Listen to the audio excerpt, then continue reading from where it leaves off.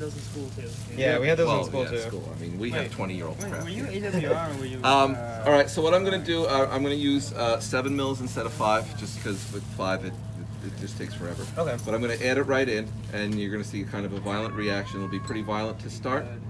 Okay, it's uh, uh, you can see the uh, copper ions being formed right away because the solution is kind of greenish blue, Yeah. and you have this uh, this uh, red vapor, which is nitrogen monoxide gas. Ooh, okay. Again, it's pretty it, it's pretty intense to start. Very exothermic. This is actually very getting very very hot. Nitrogen monoxide is in chocolate, right? Uh, it is. That's why it's Oh, in the okay. hood and go. That's why you guys aren't doing it at your bench. All right, but it is kind of nasty, so it, it gets taken out. But as it, as the reaction settles down a little bit, you can see the, the, the brass kind of dancing on top of the acid dissolving. The heck was that? Oh, you just knocked the thing off. Don't worry about it. As long as you didn't pull it down. Carlo did. Don't pull. like Carlo did.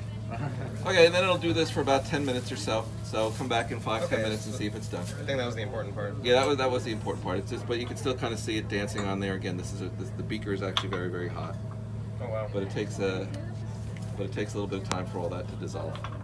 Okay, and then when you do that, I'll tell you what to do next.